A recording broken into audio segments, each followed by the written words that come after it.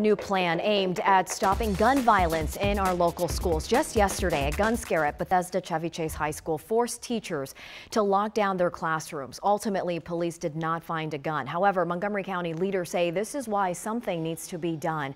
Our Nicole D'Antonio is live from Montgomery County Schools headquarters with today's lesson plan. Uh, morning, Nicole.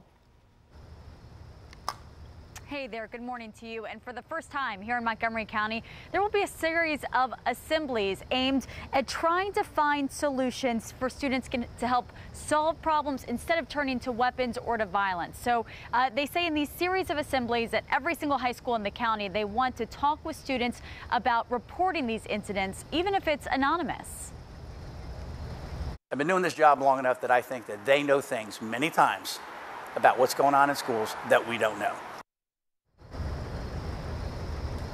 Now, the Montgomery County State's attorney says these assemblies will begin in the coming days and weeks. And for perspective, last year's authorities seized six guns from teens right here in Montgomery County high schools.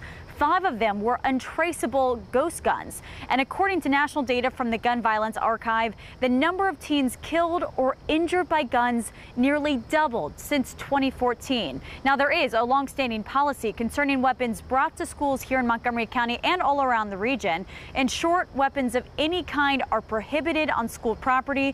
But yesterday, there was another gun scare, this time at Bethesda Chevy Chase High School.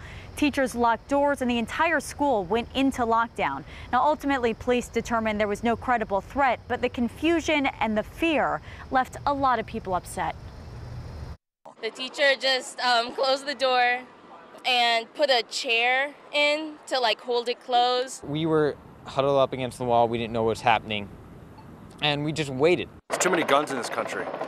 There's no reason a 17 year old kid should have access to a gun. Ever. We got to do something to change this. Yeah, go ahead, Matt. Now, again, this program was just launched today right here in Montgomery County. Parents are able to opt their children out, but they say this is not, you know, an anti-gun presentation, but they are focused on keeping these schools safe. They say that is their main goal. Guys, we'll send things back inside to you.